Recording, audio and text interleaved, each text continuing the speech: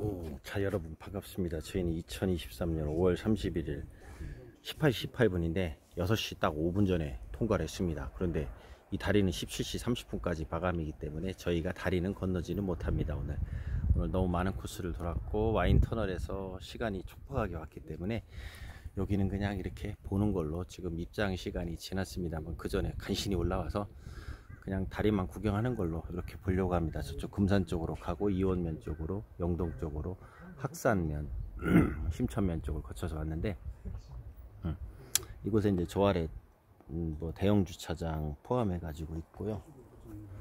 어, CCTV도 있고 운영 종료 시간도 있고 음.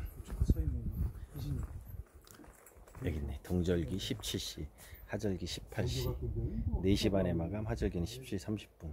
그 다음에 이제 오, 여기가 원래 수요일 날이 그 휴무였는데 이걸 월요일 날로 변경됐다고 저기 아래 표지판에 쭉 있습니다. 이거 경사가 상당히 급한데 데 데크를 넣고 이렇게 올라와서 쭉 있고요.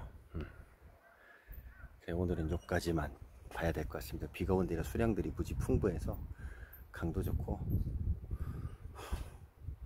내려가는 모습도 좋고 아주 지자체에서 아주 이런 사업들을 많이 하는 관계로 인해서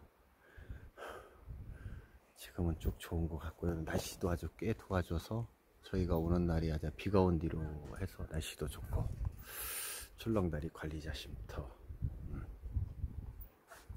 어쨌든 오늘 요거 못 건너본 건 좀 아쉬운데 다음번에 한번 또 일찍 와서 건너가 보도록 하고 오늘은 이제 여기서 마무리를 질지 하나 더 할지 모르겠습니다. 그래서 그걸로 보고 어, 오늘은 일단 또 다른 곳으로 이동해 보도록 하겠습니다.